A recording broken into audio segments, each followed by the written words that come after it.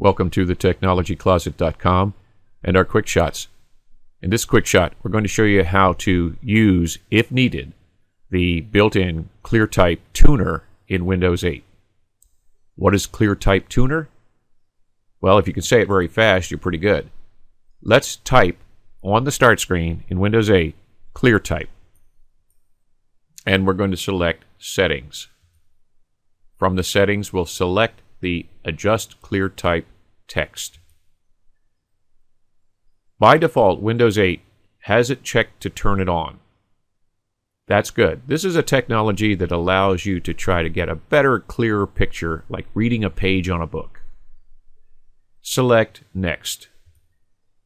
You have two choices in one of five. Windows 8 selects the one it thinks is best, and usually it is. But you may like this one. I like the default. Next.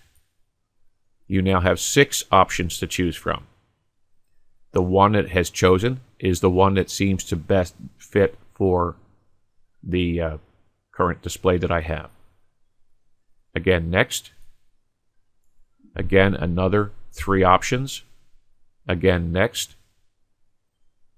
And finally, next again. And that's it. Now we'll finish the next, and that will show you the display and finish. Well, that's it for this quick shot. Please visit our website at thetechnologycloset.com. And while you're there, please visit our YouTube channel. Until next time.